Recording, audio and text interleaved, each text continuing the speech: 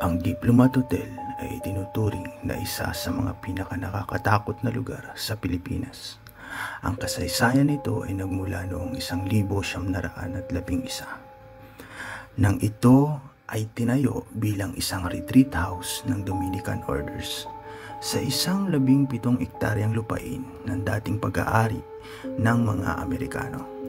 Sa loob ng dalawang taon, ginamit ito bilang isang kolehiyo ang Colegio del Santissimo Rosario.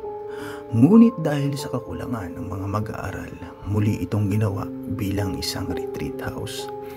Sa panahon ng ikalawang digmaan, ang gusali ay ginawang taguan ng mga tao mula sa Hapon. Nang simulan itong bombahin ang kalapit lugar. Matapos ang digmaan ng taong 1948, muli itong binuksan bilang isang 33-bed hotel. Habang pinananatili ang ilang mga lumang kagamitan na dati nang matatagpuan dito. Taong isang libo siyam naraan at pitumpo, ang hotel ay pinamamahalaan ni Antonio Tony C. Agpawa, isang negosyante at manggagamot ng pananampalataya.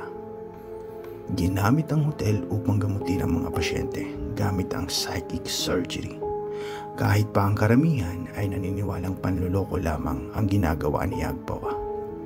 Marami pa rin umaakyat sa Diplomat Hotel galing sa iba't ibang lugar para magpagamot. Naipasara at inabando na ito noong 1982 nang mamatay si Agpawa sa edad na 42.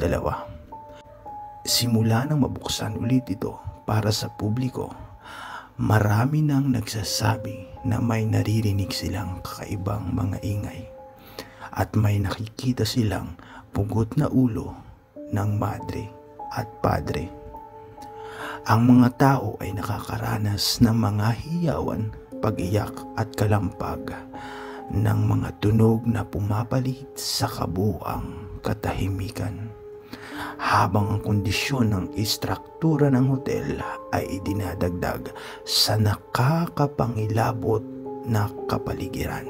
Ang ilan ay nagsasabi na ang mga iyon ay espiritu ni Agpawa at ang kanyang mga pasyente.